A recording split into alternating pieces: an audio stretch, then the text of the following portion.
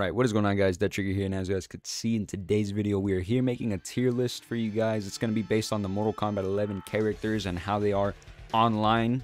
Now, when I did this last time, it was based on local play, which is something that not a lot of you understood well. But here I am making an actual accurate one. This one's going to be based on online matches only, whether it's ranked, tournaments, combat league, whatever it is. This is solely going to be based on online matches. Now, unlike the other YouTubers that I've actually done a tier list like this, I'm actually going to be doing it a little bit differently and I'm actually going to be putting all the characters in their specific spots right now. So basically, every single character is already going to be on the list. However, I will be talking about each character one at a time. This is something that I slacked on recently, and I realized that this is what I had to do in order for me to be as accurate as possible. So give me some time here. I'm going to put every single character where they are supposed to be, at least in my opinion. So right off the bat, you're going to see what my tier list is in three, two, one. And there we have it, ladies and gentlemen, the official Dead Trigger tier list for when it comes to ranked matches. Since I don't want this video to be too long, I'm just going to talk about the important things and as to why I placed them in their specific spots. So if you were expecting, you know, bigger explanations, I'm sorry, but that's just not going to happen because I feel like most of you have a generic idea as to why they are in their specific spots. So right off the bat, I'm going to talk about the best and the worst characters I'm going to try to keep it simple and straight to the point, so let's get right into it. So first off, I want to talk about something that you guys probably have noticed and might come to a shock to some of you, but nobody's actually on my D tier. Now, the reason why is because I genuinely don't think that there's any character in this game that is necessarily bad or trash. And as much as I hate characters like Jacqui Briggs who are on the S tier, you know, the Cetrions, the Sub-Zeros especially, they are there for good reason, but there is nobody that I think deserves a buff. I think every character is fine the way they are, or at least better than okay. And as you guys are seeing right now, there is of course a best and a worst character and the best character obviously is Jacqui Briggs to me I kid you guys not anytime I look at competitive gameplay and I watch videos and streams and even myself going into combat league and tournaments and ranked matches and all that kind of stuff 90% of the time, you're gonna run into a Jacqui Briggs player, and if they know how to use her, oh my goodness, she is completely unstoppable. Now, literally, with three special moves, the air ground pound, the enhanced air blast, and the bionic bounce. Those three simple moves right there is what makes her an unstoppable force. Literally, I genuinely can't even beat a Jacqui Briggs player. Anytime I go against one, I just simply want to leave. And that's how most of the S tier is, but I'll talk about that in a bit.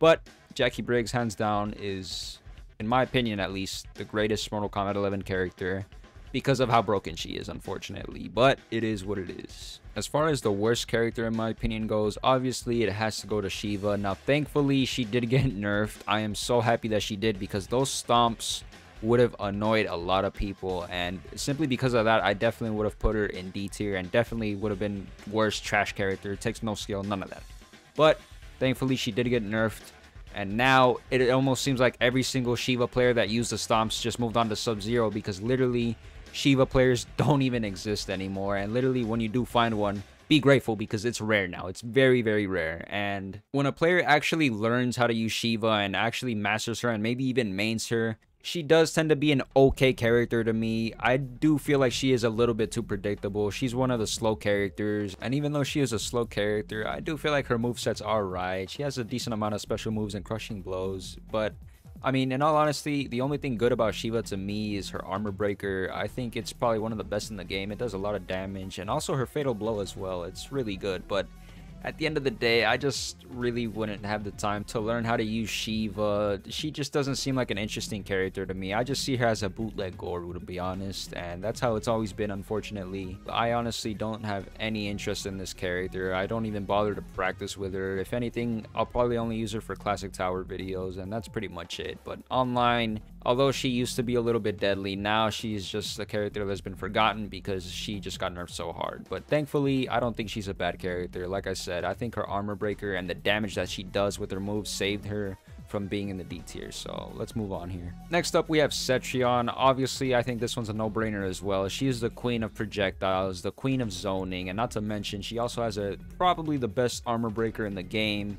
Really good fatal blow the only thing that I think she lacks is damage, I would say, but I mean, the fact that she's the queen of zoning, it almost seems like she doesn't even need none of that. She has the projectiles. She has a lot of strings as well that are really safe on block. Overall, I just think she's an overpowered character as well. She literally has everything that you want in a character except damage, I guess you could say. Being honest, I just see her as Tremor 2.0 and probably a little bit of a nerf version, if anything.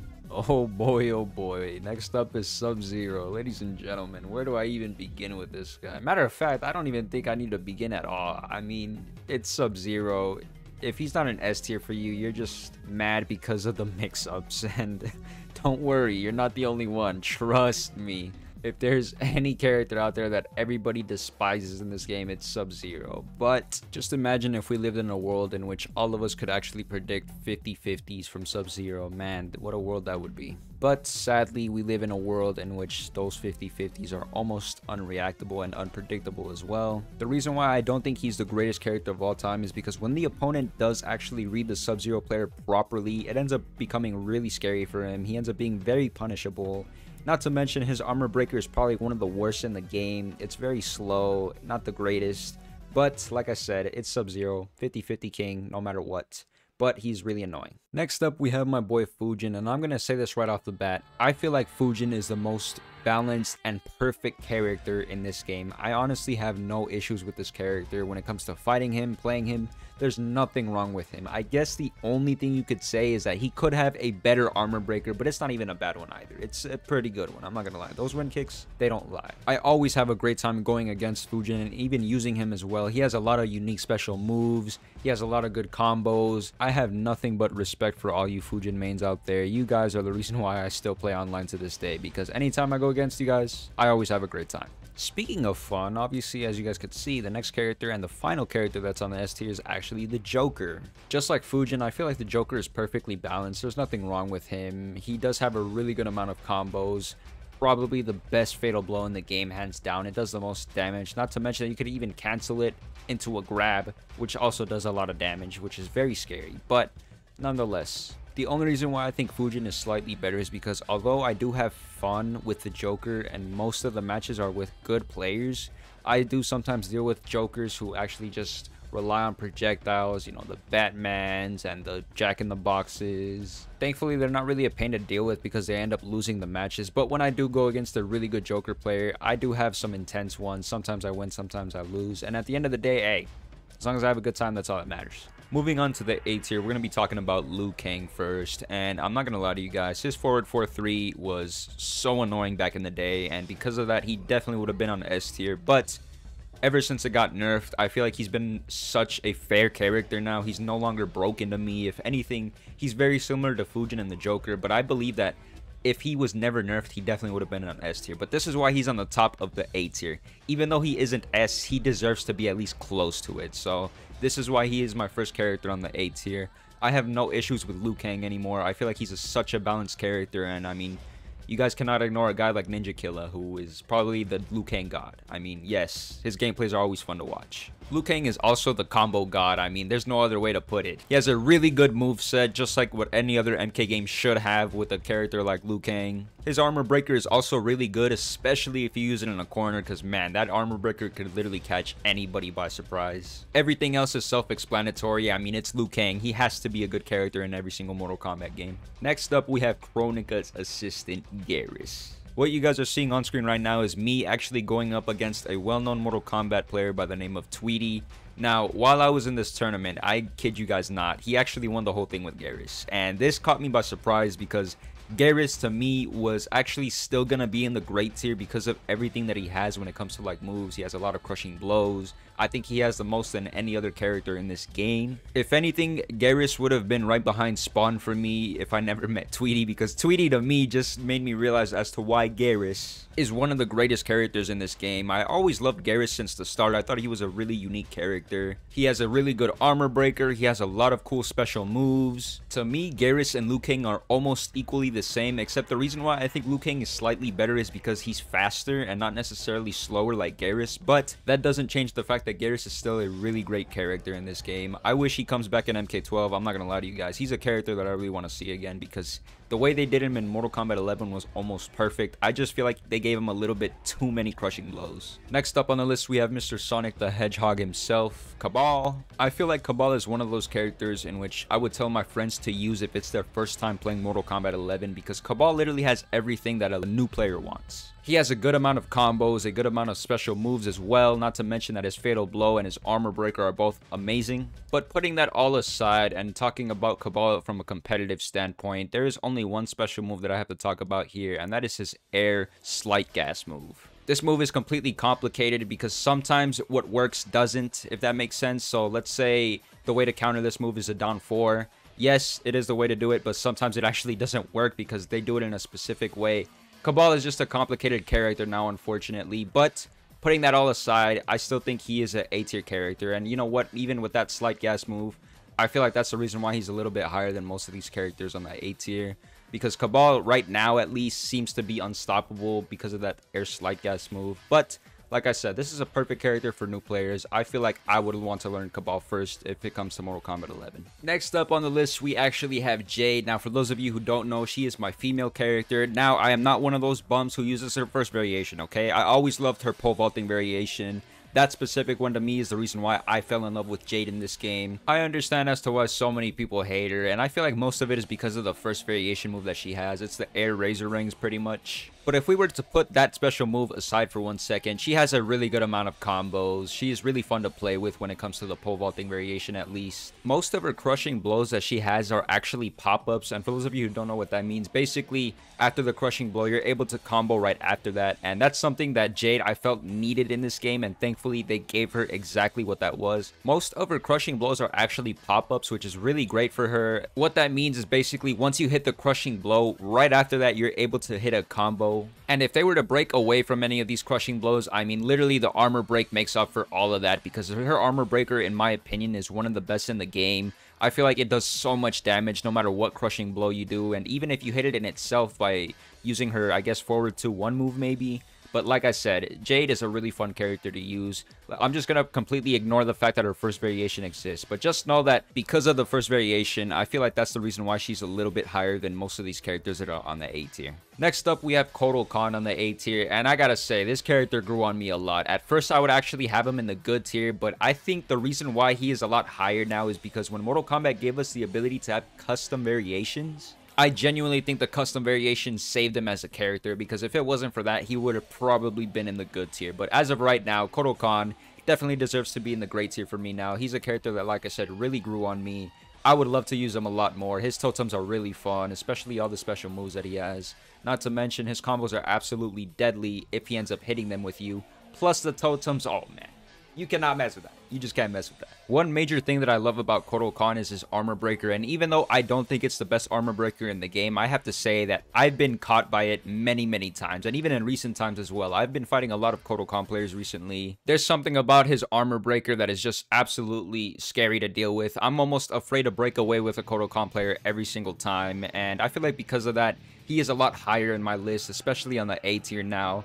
He is just a character that absolutely grew on me. I would love to learn more about him, and overall, he is just a really fun character. Next up on the A tier, we have the one and only Kitana Khan. For me, it was hard to choose whether Kotal was better than Kitana, but at the end of the day, I realized that Kotal is more deadlier because of his totems. I also remembered Kitana from Mortal Kombat X and Mortal Kombat 9, but then I realized I think because of custom variations, Kotal Khan was slightly better, and don't get me wrong, Kitana is also great. She has one of the best armor breakers in the game, probably the second best in my opinion. She has a good amount of combo startups, a decent amount of crushing blows, but because of the game's mechanics, I just feel like she wasn't as powerful as she used to be, but even so, there's Kitana mains out there who manage to find new combos for her every once in a while, and because of that, I just feel like she's still a good character overall. She is still seen a lot in online matches. Next up on the A tier, we actually have Erron Black, and just like and Kitana, I feel like the game's mechanics ruin him as a character compared to what he used to be. Now don't get me wrong, he is still a fun character overall. I feel like his Nether Beast trap and the fact that you're able to have custom variations now saved him as a character.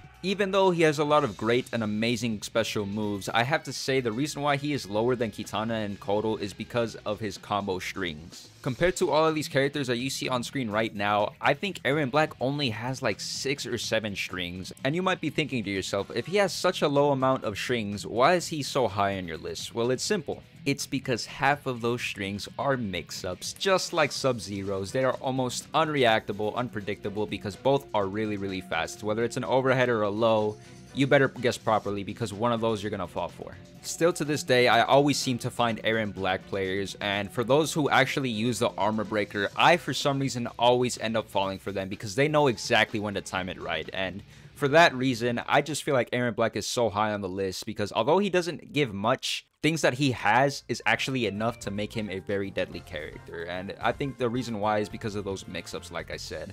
If it wasn't for those mix-ups, he definitely would have been a lot lower in this game. But yes, you have moves like the TNT trap and even his big boots, his forward forward, man.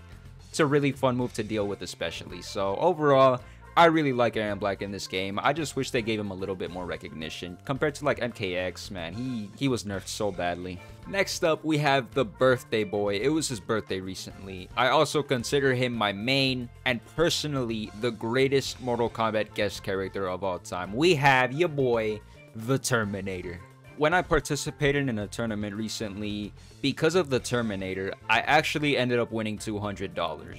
I will never forget that day, and it's all thanks to Arnold agreeing to being in the Mortal Kombat franchise. He has always been my favorite celebrity, which is probably why I got really excited when I saw him in the trailer. So going back on topic here, I feel like there's only one thing that I don't like about him, and it's actually his armor breaker. I just feel like it's one of the weaker ones in the game. But other than that, he literally has everything that I want in a character. He has mix-ups, he has a lot of great special moves, a lot of great combos. He has the best Fatal Blow animation in the game, in my opinion. Get over here. There's a lot of people out there that don't really like him because he isn't necessarily a good character when it comes to keep-aways like Cetrion and Sub-Zero, who all they do is spam projectiles. I gotta admit, he's not really good when it comes to that. However, that's where his teleporter comes in. And this is what I was talking about in the beginning when I said I like a challenge. Literally, Using the teleporter recently is something that a lot of Terminator players have done, including myself, and I gotta say, it's the greatest thing in the world using that teleporter, especially when you manage to hit those combos, man, it's just so juicy. I believe he is the only character that has a hopping crushing blow, which is something that is very unique to him. I am so glad that he has this, because most of the time when I go against online players and they end up like rolling and spamming down one on me, I always end up hitting them with the, this crushing blow, and honestly, it's just really satisfying to hit. It's also a pop-up, which just makes it 10 times better, but yes, Shotgun is also amazing. And overall, I am just thankful that he is in this game. A lot of people trash on him because of the zoning prospect of it. But like I said, when it comes to that, I always use the teleporting and it's always fun to do. So Terminator for me has to be on A tier at least. And I, as much as I want to put him on S tier because he's my main, I wanted to be as fair as possible in this video. Next up on the A tier, we have another guest character by the name of Spawn. Now, I have to admit, at first, I actually didn't know who this guy was. But when I heard that it was going to take a long time for him to get him as DLC, I realized that that was enough time to actually learn about the character. And I have to say, after watching the whole series, he is probably one of the most badass characters I've ever seen. He is a really fun character in the game as well. Just like the series, if you are in a corner with Spawn, you are absolutely screwed. And although there are ways in which you can counter the 3-4s and all that kind of stuff, it is very complicated to do so, especially when the Spawn player knows exactly how to keep his distance because of how far his 3-4 reaches. Although not a lot of people use it, I have to say that he does have a good armor breaker. He has a really good amount of crushing blows. Almost all of his combos are really fun to do, especially if you're in the corner and you end up grabbing your opponent and getting that crushing blow mixed with the combo. Oh my god. His special moves are fantastic and overall, I am just so happy that he ended up being in the game. And now I can see why a lot of people wanted him, especially a guy like Dynasty who was really freaking out to hearing the fact that Spawn was here. So I'm glad he's in the game. Shout out to Keith David as well. What an amazing voice actor you are. And I'm so glad you managed to voice Spawn in this game. And I'm really happy. So, Spawn, overall, you're a great character. I am glad that you're here. Next up, we have Collector. This one comes as a shock even to me because I honestly don't like playing Collector locally. Anytime I do a Classic Tower video, Collector is just so boring. And unfortunately, he doesn't really have any skins to showcase either, so that's probably why you guys barely see him on my channel. But weirdly enough, anytime I use Collector online, it's because I don't care about winning or losing, but I don't know why. I, for some reason, have a really fun time using Collector. I feel like Collector and Spawn are the same, but the only difference is that when Spawn has a 3-4, Collector actually has about 3 of those. And what's even better is that most of Collector's attacks are actually mix-ups, so sometimes you can overhead your opponent and load the opponent, Depends on what you're going to use. You could use his back 4, you can even use his 4-4, but overall collector to me is just a really fun character which is very very weird. I never thought i'd say this for online matches but yes originally i was gonna have him in the good tier but then i decided to put him in the end of great at least just because i feel like if you deal with a collector player in a corner it's going to be very difficult to deal with especially with his down back four move which is also an armor breaker which is also very good but yes, Collector to me is just a deadly character now, and over time, as I use him more and more, I started realizing that he is actually a great character. Moving on to the B tier, we're going to start off by talking about a character who I wish was in the A tier, but unfortunately, this man was just nerfed so many times to the point where I simply cannot put him there any longer. But in order to give him as much recognition as possible, I decided to put him in the top of B tier. And yes, we are talking about the showstopper, Johnny Cage my boy Johnny Cage literally got nerfed so hard for no apparent reason. He just unfortunately became a character that nobody really uses online anymore, but regardless, I still think he is actually a good character in the game. Being honest with you guys, I actually prefer Mortal Kombat 11 Johnny Cage over X. I just feel like he has a lot of better combos in this game. They are a lot more fun to do, especially with the fact that you're able to cancel your fatal blow into sunglasses crushing blow. It's just something that's really, really cool and unique for Johnny Cage. And because of that, I feel like although he doesn't deserve the great tier, he at least needs to be at the top of good tier because he is still a fun character. His projectiles are also really good and fun to use, especially his high and low force balls. His original armor breaker was really bad. It was basically the flippy kick, except the thing is, with you do more damage with an uppercut than that flippy kick. But thankfully, they also gave him the ability to armor break with his fist cuffs, which just made him twice as better. I just feel like with all the nerfs Mortal Kombat gave him, all of the momentum that he had just simply died. And although it did, I feel like if I use Johnny Cage as a character, I'd learn how to counter and punish my opponents better. So although he isn't a great character, I still want him to be at least at the top of good tier because I'd still have fun using him. Next up, we have the legendary Hanzo Hasashi, the man himself, Scorpion. I want you guys to go back in time for a second and think about Scorpion from Mortal Kombat 9 and Mortal Kombat X. I'm gonna let you guys sink it in for a second. I don't care what anybody says, that was the happiest time of my life. But then Mortal Kombat 11 released, and what the hell, man? There's a lot of you guys out there that really hate going against Scorpion players for some reason, and I honestly just don't see why at least for the scorpions that I fight, all they tend to do is just spam forward 4, grab me, or even spam his down forward 4, I believe is what it is. It's basically where he spins his chain all the time. 90% of the time, I always beat these scorpion players, but this is where the pro standpoint comes in. When a good scorpion player ends up punishing or anti-airing you or any sort of things like that, right after that scorpion can literally combo you to death and it's all thanks to his legendary spear. Now, yes, although you do have to waste bar and you have to waste meter, he is still a very deadly character if he manages to hit combos on you. One underrated move that I think not a lot of people use is actually his Sin Blade. Although I don't use the move as much, I can understand as to why it is a really good move because it is basically Mortal Kombat X mechanics, but in Mortal Kombat 11, which is why I think it's pretty cool, and I'm probably going to use it a little bit more in the future. But overall, I just think Scorpion's a good character now, only because of the way the pros use him. Because the way casuals use him is honestly a joke compared to Mortal Kombat X and Mortal Kombat 9. Next up, we have Robocop. And for those of you who don't follow me on Twitter, uh, while I was in this tournament that I participated in, there was a little incident that uh, occurred to me. And after seeing how this player used Robocop, I realized that he is actually a character that should not be messed with. I'm having PTSD flashbacks right now, so if you guys will excuse me, I'ma just move on. Yes, Robocop is better than most of these characters that are on the good tier.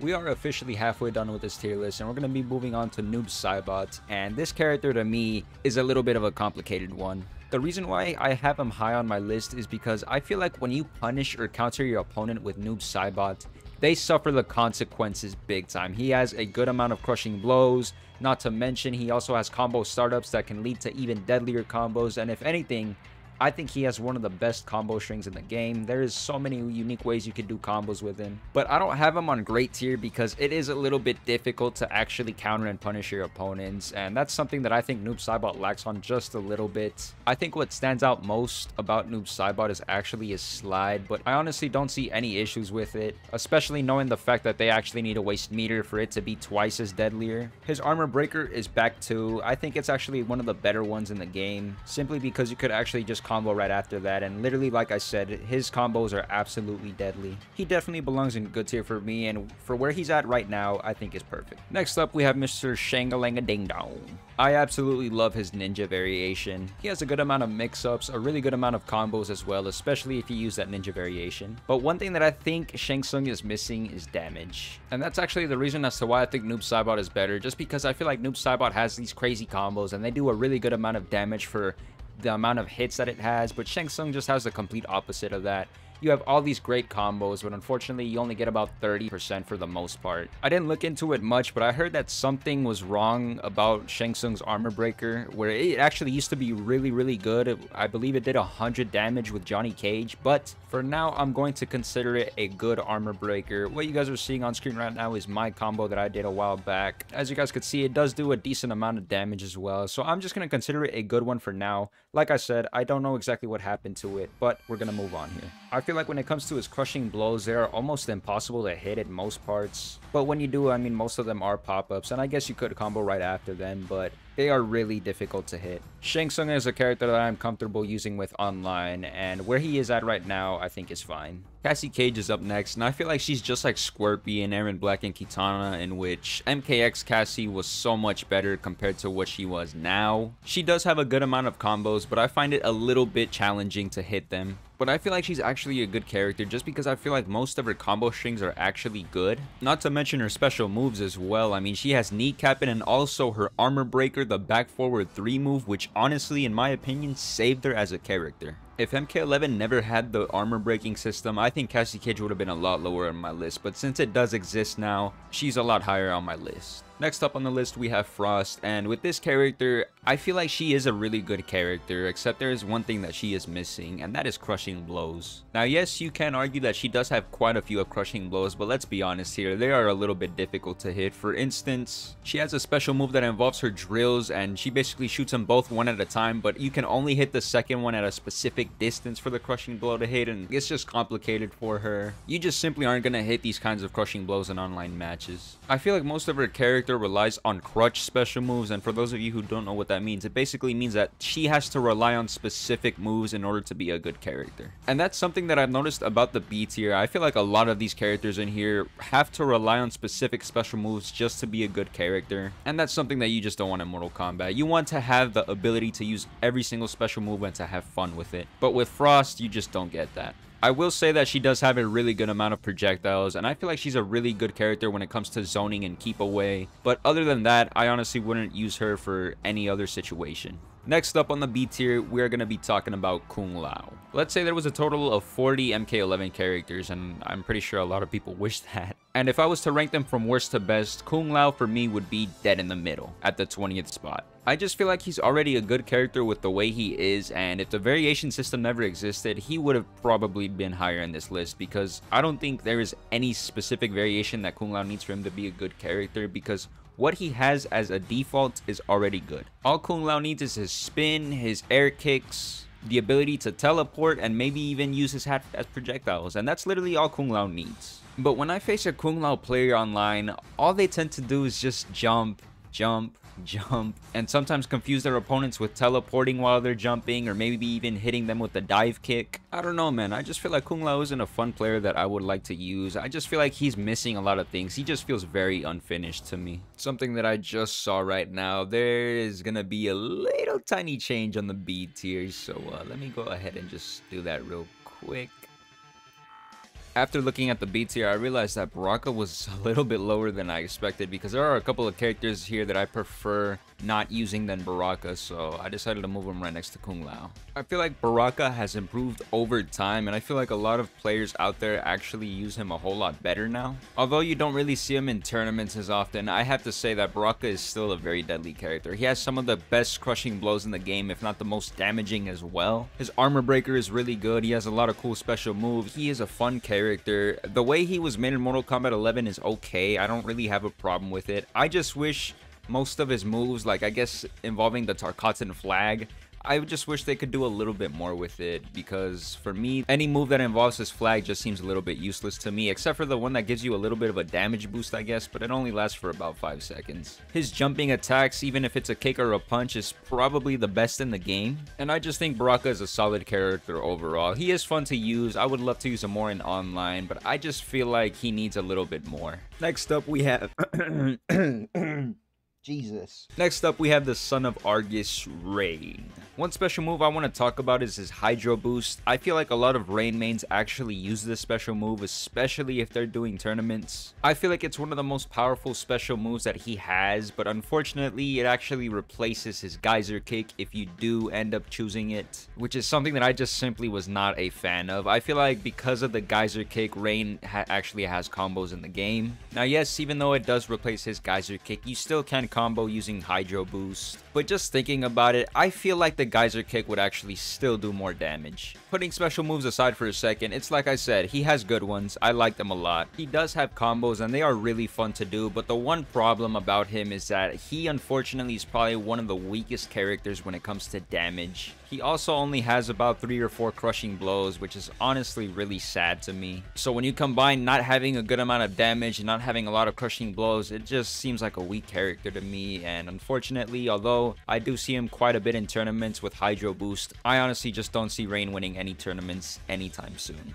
So the characters that I'm going to talk about moving forward, I've only used about four or five times, and as you guys can see on the list, it's probably for a good reason as well. I mean, we're going to start off things by talking about Shao Kahn. This is a controversial character right off the bat. Thankfully, he's a whole lot better now, but even to this day, I still find some struggles with Shao Kahn, especially with his ridicules. All I wanted for them was to be a little bit faster because having more damage with Shao Kahn makes sense, but the fact that you're risking about 5 seconds of your time just to get these specific damage boosts is a waste of time. He's a really unsafe character. I feel like most of his special moves are really unsafe as well. But when it comes to his other movesets, if he does end up hitting his opponent or punishing them, he has some really good combos. He has some of the best armor breakers in the game. I believe he has 3 or 4, which is absolutely insane. If you understand your opponent well and for the most part you end up countering or punishing his attacks, I feel like Shao Kahn ends up being a really good character because after you hit your opponent with combos, it's literally a guaranteed about 40 to 60% with Shao Kahn. And for that reason, I feel like he deserves to be in the good tier.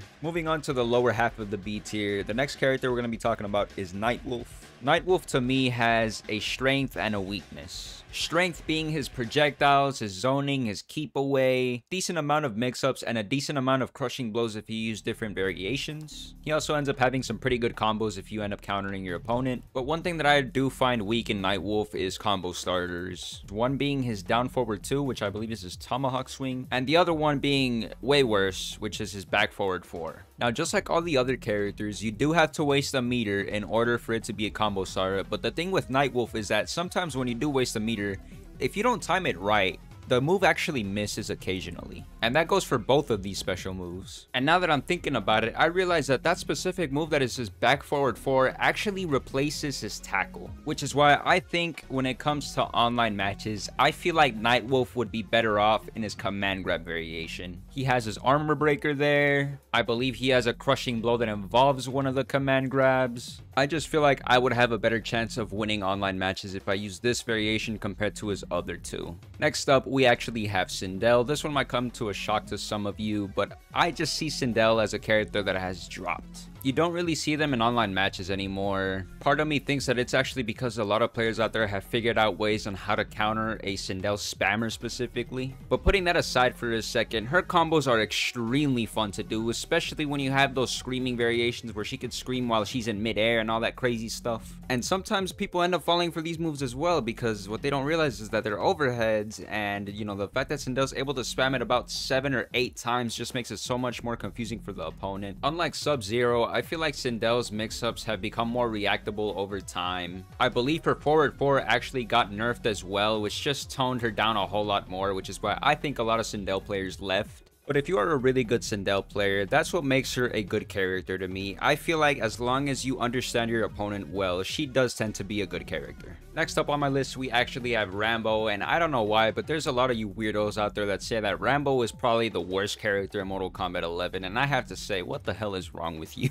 I have seen so many Rambo players pop up in tournaments many, many times. I feel like at first, maybe when people didn't actually understand how to use him well, yes, maybe he would have been the worst character, but over time, I feel like Rambo has improved a lot, and lately I've been fighting a lot of them as well, and I feel like he's just improved so much as a character. Another thing that stands out to me is his Claymore. I feel like his Claymore is one of the funnest moves in Mortal Kombat 11. If you trap your opponent in a corner with Rambo and they have a Claymore, you're basically screwed as long as they don't fall for the Claymore themselves. Although his armor breaker isn't really the best one in the game when it comes to distance, I feel like it's still very damaging when they do time it right. And to those of you who say that he doesn't have combos, you're just lying to yourselves because as long as you have the snare trap and even in the claymore itself, I feel like he has a pretty decent amount of combos in my opinion. But regardless, I still think he's a good character. I don't know what a lot of people are saying that he's the worst character in the game. Now, you guys are just absolutely weird. You're basically telling me that you prefer playing Sheeva over Rambo. What? Nah, nah, nah, nah, nah. Next up on my list, we have Jax, and I'm gonna be straight up with you guys right now. I might be the only one in the world that thinks this, but I don't like the way that NetherRealm did in Mortal Kombat 11. He has a pretty good amount of moves, and thanks to those heated up arms, he actually ended up having a good amount of combos. But to me, I just feel like there's something missing in him. I don't know if it's because he is technically a slow character for me, or maybe it's because of the heating up system. I don't know what it is.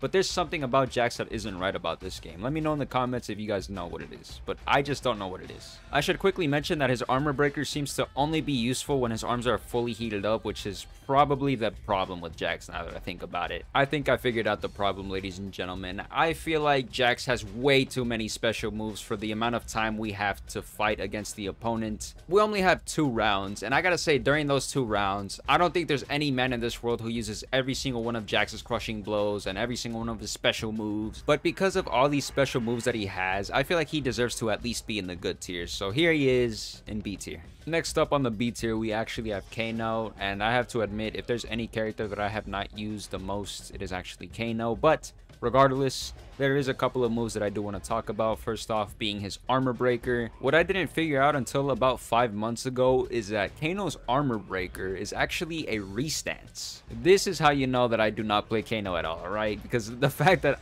I didn't know about this sucked. And because of that, he probably would have been on my C tier. But thankfully, I figured it out. It's a restance. He is now in B tier for me. I want to give a quick shout out to all you Kano mains out there that use Snake Bite and Lumbar Check. Every other one of you scumbags that use Chemical Burn or anything like that, you a bum. His back forward 3 move is also really powerful, especially if you jump and use it, which is something that a lot of toxic Kano players do, but you guys are bums because you guys always end up losing. But regardless, I mean, there's no denying and saying that he's actually a good character. He could easily beat you in a matter of seconds if you're not careful, especially if you're in a corner and you're dealing with the toxic Kano player. But yeah, like I said, he has to be in good tier, and as much as I want to put him in okay simply because of all you bad Kano players out there, he belongs in good, especially if you know how to use him. Next up, we have a character that desperately needs a buff, but unfortunately now that the game is finished, she is never going to get it. We have the one and only Skarlet. I'm sure Skarlet is a little bit self-explanatory. There's a lot of you out there who understand as to why she is low on the list. You might be wondering as to why I have her a little bit higher than other characters, and that's simply because when it comes to keep away and zoning, I think Skarlet is actually a pretty good character.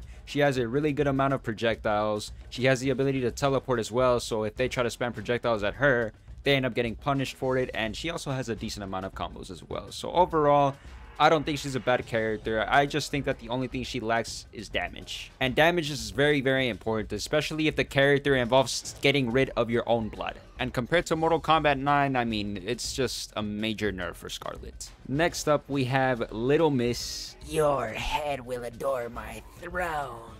The one and only Mileena. Mileena is another character that I think is self-explanatory. I mean, she just feels like an unfinished character in general. I have her on good tier because I feel like with the mix-ups that she has, some being an overhead low and a low overhead, I just simply think that it can confuse the opponent in some cases. And I've even seen a Mileena player actually win a whole tournament recently. Probably one of the best Mileena players, if not the best that I've ever seen because of that reason, I feel like Mileena should at least be higher than okay. I think she's a good character in this game. Her size are probably the best projectiles, not to mention, and also her armor breaker is pretty damaging as well. Keep in mind, even though I do have her in B tier, I feel like putting her in between B and C would be okay for me. But Regardless, I just simply think that after seeing that tournament player using Mileena and actually winning all, the whole thing with her, I have to put her in B tier for it. As time goes by, I think Mileena is going to be better and better as a character. The more people figure her out, the better she will become. Let's talk about Raiden. So right now, I'm actually on Mortal Kombat 11, and I'm going to tell you guys a list of moves that I guarantee you nobody uses. Joe Push, Electric Burst, Quick Charge, Rolling Thunder,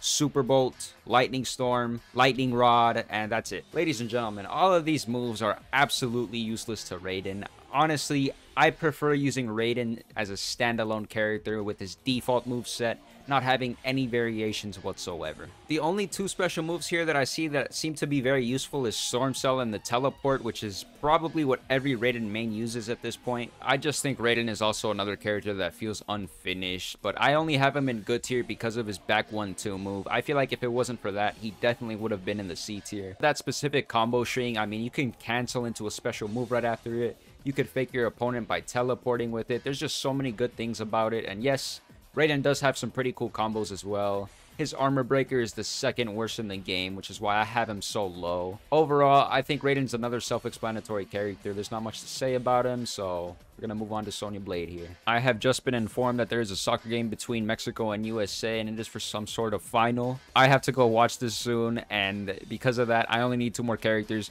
I'm going to try my best to finish this video before it, so we're just going to go in raw here. Sonya Blade. Uh, she has the worst armor breaker in the game, in my opinion. It's literally just forward 3. Like, it's one of the most useless things I've ever seen. Most of her character herself relies on her mix-ups, unfortunately. Her special moves are absolutely useless, but because of those mix-ups, I feel like she's a really good character. They are almost unreactable, but she was just nerfed so hard. I mean, her down back...